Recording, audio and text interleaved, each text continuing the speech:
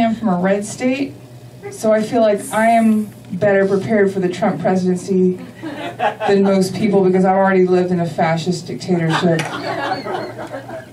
When you live in a red state, it is uh, it is like everyone around you has a hearing disorder. Like you say stuff and they just hear it. They hear it differently. Uh, like you might say atheist and they hear Satanist, or uh-huh, uh-huh, uh-huh, you might say feminist and they hear lesbian serial killing prostitute. Um, didn't realize that was two prostitute jokes back to back. We're all gonna live through it. Uh, speaking of living through it, once they repeal Obamacare, I don't know how many of you guys remember the television show The Six Million Dollar Man. He won't have any sort of superpowers. He'll just have had two uninsured heart bypasses and LASIK. Like he can't fight crime. He can barely fight gingivitis.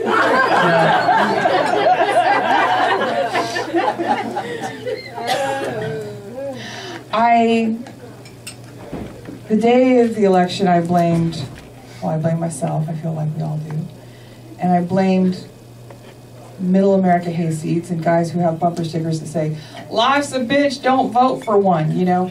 Um, but I was wrong uh, because 53% of white women voted for Trump. And that's like, that's like in the movie, in the horror movie, where they go, the killer is calling from inside the house. like, I have seen the face of the enemy and it is us, you know?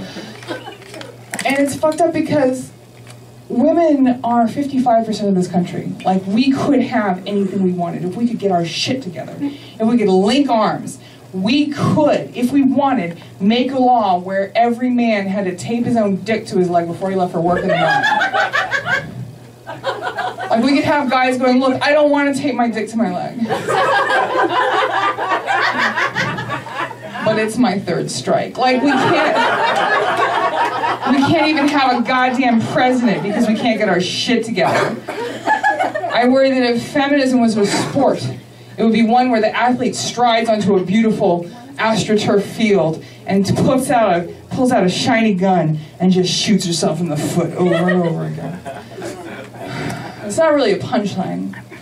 It's just like feelings. All right, so we got to talk about cats. Now, uh, this is my new character, exhausted about the idea of talking about cats. All right. Okay.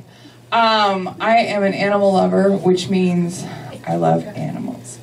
Um, and I don't have a cat of my own, I will confess that to you, but my roommate has a cat, so I like sort of have a cat, right? Because like there's a cat that lives with me, and she's not always using it, you know, like sometimes there's cat for me to love, like for free. And the cat eats venison. Have you guys heard of this? She eats deer meat. Yeah, it's something that white women do when they don't have kids. And they want their cat to have the very best.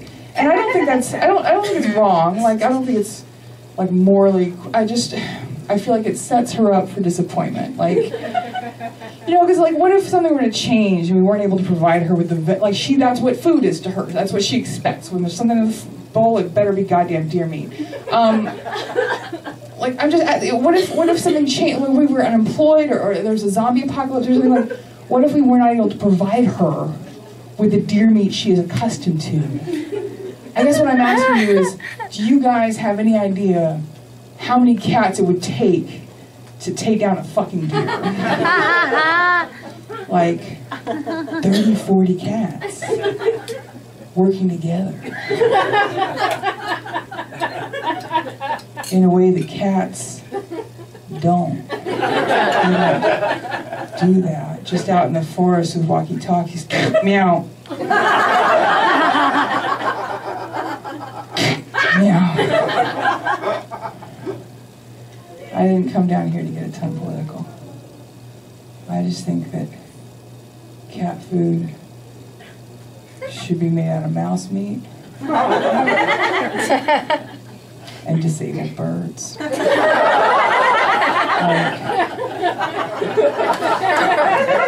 something a domesticated house cat has a reasonable shot at.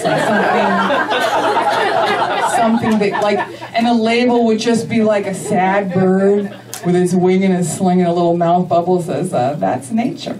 Um, the last thing that I wanted to tell you guys, and again, I'm not trying to start fights, but there's no point talking about it anymore. It has been scientifically determined. Cats are dumber than dogs.